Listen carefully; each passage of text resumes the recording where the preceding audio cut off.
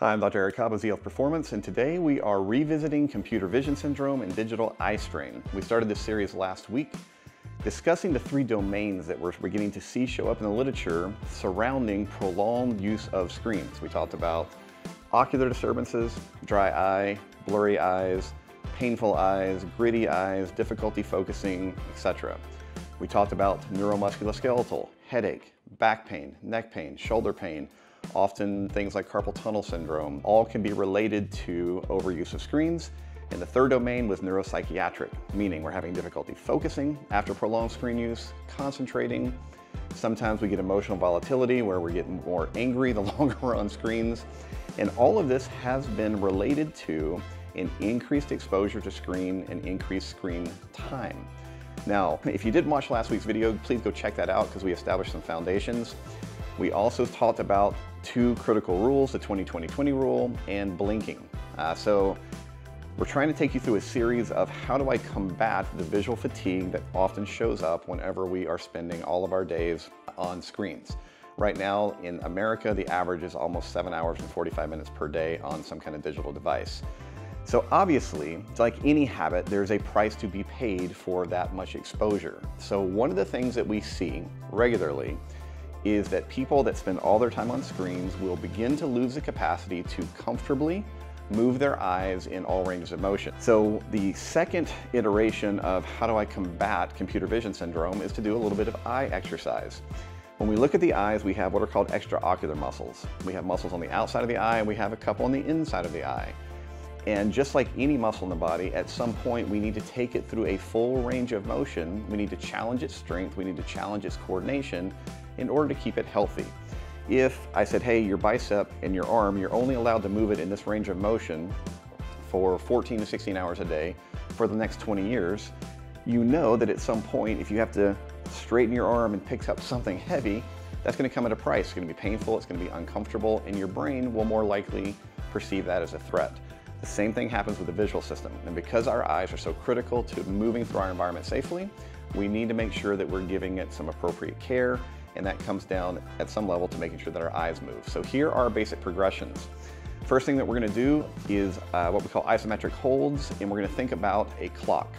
So we're going to start, get in a nice comfortable stance, we're gonna look up, hold for five, like we would be on the 12 o'clock, and then we're gonna come back to the uh, middle, and then we're gonna go to one o'clock, hold for five, 2 o'clock for 5, all the way around, and then reverse it. So our first exercise is just full range eye movements with a 5 second hold on each number of the clock. All right, that's number one. Now we want to focus on some coordination work. So we're again going to think about that clock and we're going to begin by doing some smooth movements. We call these smooth pursuits. So I'll think about 12 to 6. I'm going to put my finger in front of me, I'm going to focus on it, I'm going to follow it up to the 12, down to the six. I'm gonna keep my head still as I do that. I'm gonna come back to the middle. And then I'm gonna go one, seven. And then I'm gonna come back to the middle, two, eight. You don't have to you know, know your numbers, but all I really want you to do is think about doing smooth pursuits in each direction all the way around the clock. Once you've done that, we're then going to follow, imagine the clock running, look at each number smoothly. So we're now doing a circle, circular motion. We're gonna do four or five in each direction. Once we've done that, we now wanna start increasing the challenge of this kind of smooth pursuit eye movement by changing the depth of field. So now we're gonna be doing what we call eye spirals. Do it with a finger, a pen. Um, you want something to focus on.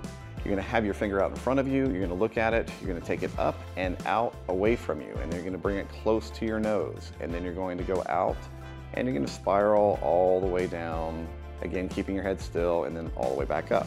And then you can change the direction of the spiral. So now I am on a diagonal and I want to again do that in each direction.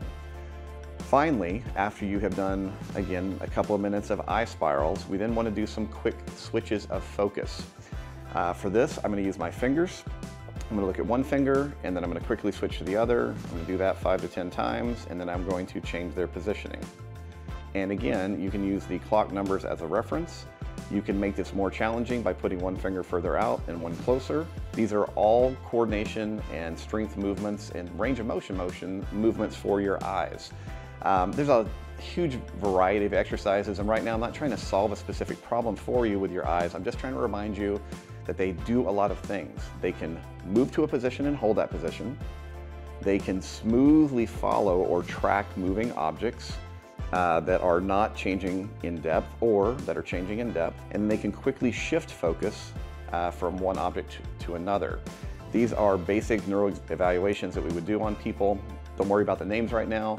Just understand that these are critical aspects of good vision. They are critical aspects, more importantly, of defeating the hyperfocus in a short focal length issue that arises when we are constantly on screens. All right, so this is video number two of our combating digital eye strain and computer vision syndrome. Make sure to check out the previous video. Come back next week. We're gonna keep going, uh, looking at more stuff regarding your screens, blue light exposure, etc., because this is a critical factor for a lot of people in getting rid of pain. If you are new to the Z-Health world, we are a brain-based education company. We specialize in working with doctors, coaches, and therapists from around the world who are interested in bringing neuroscience and practical, practically applied neuroscience into their work with clients. So if that's of interest to you, make sure to subscribe to the channel and check out all of our free resources on zhealtheducation.com. All right, have a great week.